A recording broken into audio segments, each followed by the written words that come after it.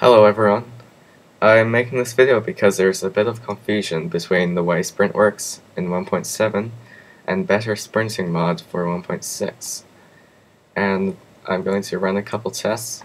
My sprint key is bound to V, just because I find that easiest. So, here we go. When you hit an entity, your sprint does not break. You cannot sprint in all directions, only forward when you run into a block, your sprint breaks, you're no longer sprinting. You cannot sprint while standing still.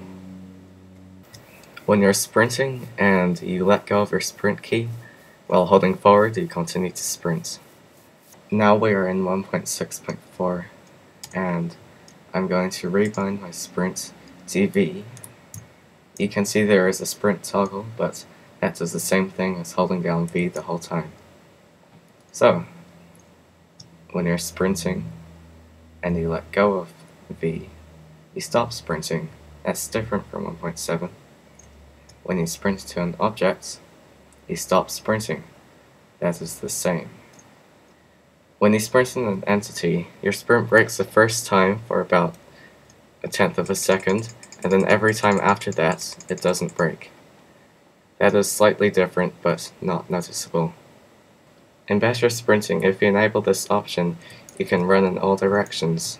However, when you log onto the server, that becomes unavailable.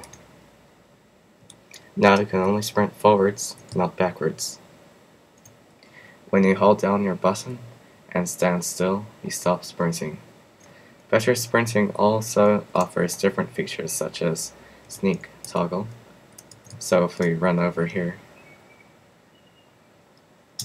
Press Y, and then click on the click on the crafting table.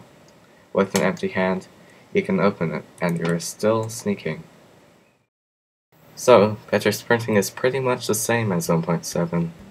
My opinion is that on 1.6.4 servers that allow 1.7 clients, they should also allow better sprinting.